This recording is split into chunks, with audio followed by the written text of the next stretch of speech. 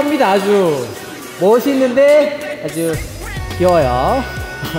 멋있고 싶은 귀염둥이들이에요. 마음 먹고 약간 멋있게 나왔는데 각오 어떻습니까? 우리 막내? 저희가 알기에 사이렌이 여자 팀 말고도 남자 팀이 있어요. 어. 근데 저희가 이걸 만들면서 다 같이 한 말이 있는데 우리가 남자 팀을 이기겠다. 아, 그래서 이겨보겠습니다. 남자 팀은 못할 수도 있거든요 오늘 막내 당찬 거 굉장히 기대가 되네요 그러면 한번 결경아 여기서 하자 여기서요.